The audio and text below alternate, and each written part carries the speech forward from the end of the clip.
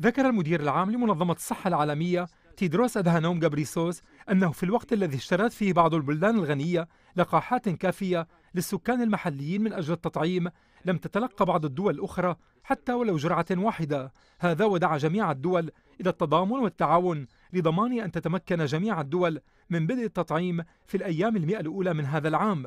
بالإضافة إلى ذلك وبشأن تعليق العديد من الدول الأوروبية استخدام لقاح استرازانيكا قال تيدروس إن اللجنة الاستشارية العالمية المعنية بأمان اللقاحات التابعة لمنظمة الصحة العالمية تقوم بمراجعة البيانات الحالية حول لقاح استرازانيكا وتحافظ على الاتصالات الوثيقة مع الوكالة الأوروبية للأدوية.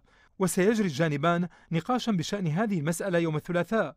ولكن هذا لا يعني أن حالات الإصابة بجلطات دموية بعد التطعيم مرتبطة بلقاح السرازانيكا وفي وقت سابق أوصت منظمة الصحة العالمية بضرورة استمرار توزيع لقاح السرازانيكا.